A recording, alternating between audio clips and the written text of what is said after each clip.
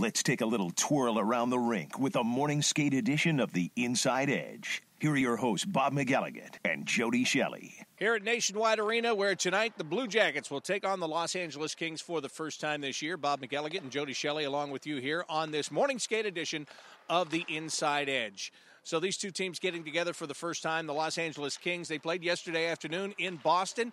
They came back from being down two goals, Jody, to the Boston Bruins, and then 18 seconds after they tied the game, they gave up what turned out to be the game winner.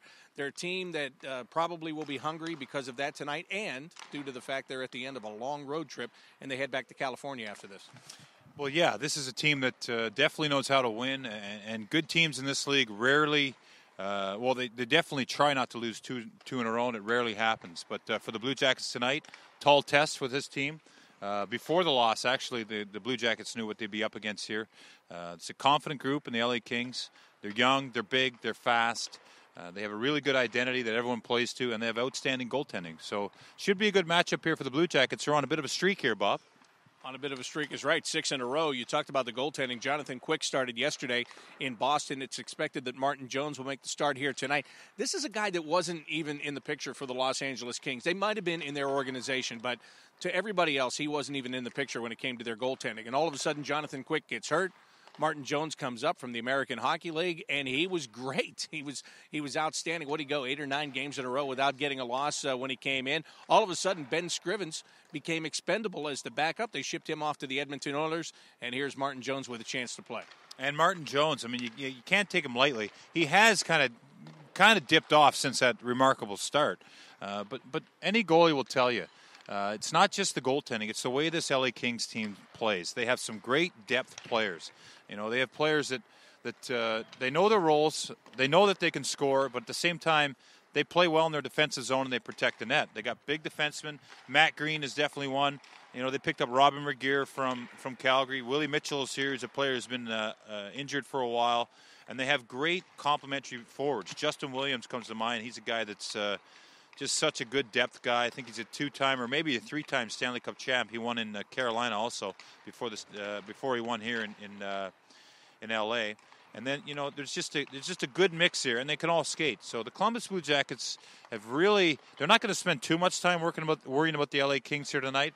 Uh, they're going to worry about more about their team. But if they're going to worry about the Kings, they have to worry about giving them giving them opportunities on turnovers and opportunities on the power play. The Blue Jackets have to limit those two things here tonight if they want to have success against the LA Kings. I think uh, the way Todd Richards put it the, this morning after his team was done skating was absolutely correct. You're talking about this team; they've won, and that makes them professional in the way they go about their business each and every day, and that's huge. That experience you can't teach that kind of experience of going through the playoffs and winning a Stanley Cup, and a lot of these guys have done that. So a loss yesterday is something that a lot of these guys they shrugged it off 10 minutes after it was over and just started to get ready for today yeah and that's the mindset it's uh, when you go through something like they went through to, to achieve their goal as a group uh, you've found out a lot about the guys in the room that are with you. You you know how hard they can go. You know how hard they can work. You respect how much they sacrificed. We don't know what these guys went through, what kind of what kind of uh, pain they were in, how they were getting patched up to get to get uh, ready for game time and, and what they went through mentally and physically, they know as a group. And so, if yeah, they can take a loss, water off a duck's back. They're showing up here today. You see guys working on little things here at the pregame skate, picking up a pass, supporting each other. You see guys working on tips at one another end. There's little details that they know they, they work on uh, daily, but there's an amount of respect individually and as a group with this group and as a group of champions um, that that right you can't teach it you have to go through and experience it as they've done and last thing on the Kings here, you talked about this skate. It's an optional skate, but yet almost every guy is out there taking the skate. So that tells you something right there. Well, and they have some good veterans out there that lead that. And I spoke with Justin Williams earlier. This guy is a journey. I love him. He's a journeyman. He's he's got a skill set that uh, is is definitely underrated. Um, and he makes players with him better. He's got this second, third, fourth effort uh, in his game. And, and, a guy like that taking pregame skate along with Mike Richards uh, and, and, and some of these guys, these younger guys have to follow. Jordan Nolan is out there.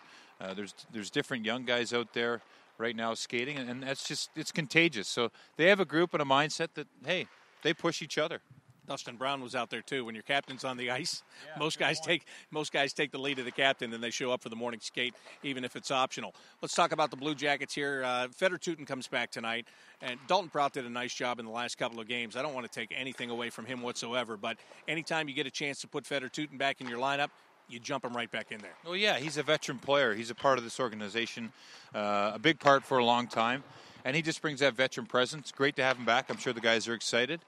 And uh, yeah, like you said, Dalton Prout did a great job. But uh, you know, have the Blue Jackets played at the top of their game for 60 minutes? Mm, no, but they got some wins here recently. I'm not taking anything away from what they're doing. Uh, good teams find way to win, ways to win, even on bad nights, and they've done that. But tonight, they're going to have to have an excellent night. The Columbus Blue Jackets need every single player, and the value of Fedor Tyutin tonight as a veteran is a, is a big thing here tonight for this game against the LA Kings. I want to dip into your uh, former player expertise here, and that is the fact that the cliches are thrown out there every game day. We've got to be ready to go right from the opening face-off. Got to have a good start. Got to have the legs moving. Blah blah blah. You can say whatever you want. The fact of the matter is, you go into Buffalo the other night, and they talk about not taking them lightly, but yet 59 seconds into the game, the Buffalo Sabres are on the board. They have the lead. As you mentioned, the Blue Jackets, they battle back. They find a way to win. They do it in a shootout, so all is well. The streak continues.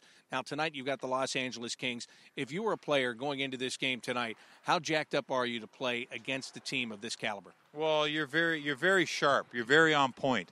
Uh, it's one of those things that – uh, you, you, might go through the day wondering what is going to happen tonight. How are we going to play? But once you're on the ice and you see your teammates battling for you and, and for each other, the Blue Jackets have an identity, and they, they will fall they will fall into it very quick against a team like this.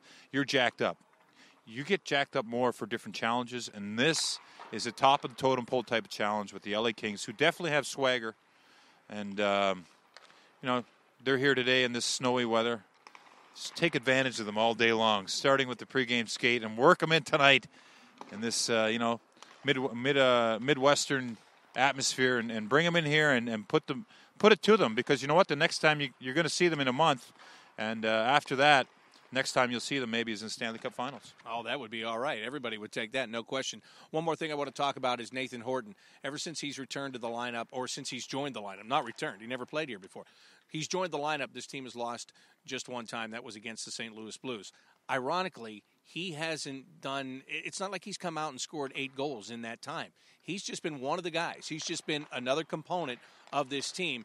As he continues to get his uh, game shape back and get his legs underneath him and all of that, how important overall is his return, and how important is it that uh, you know he is getting better? And when this team is going to need some real punch down the stretch, hopefully he's going to be ready for that. Well, yeah, it's it's crucial. This guy, and it's not an excuse. He hasn't had a training camp. He's been off with an injury. He's been working on getting his shoulder better, his legs and that. Yeah, he's been working on. But every and every single day that he's around the practice, around the games, in the game situations, playing his 14, 15, 16 minutes is another great day for Nathan Horton. I was amazed at his timing the first game uh, in Phoenix. He, he, got that big goal. Uh, he scored another big goal recently here. He's, it's slowly going to come for him, but he's he's going to look back at this every week.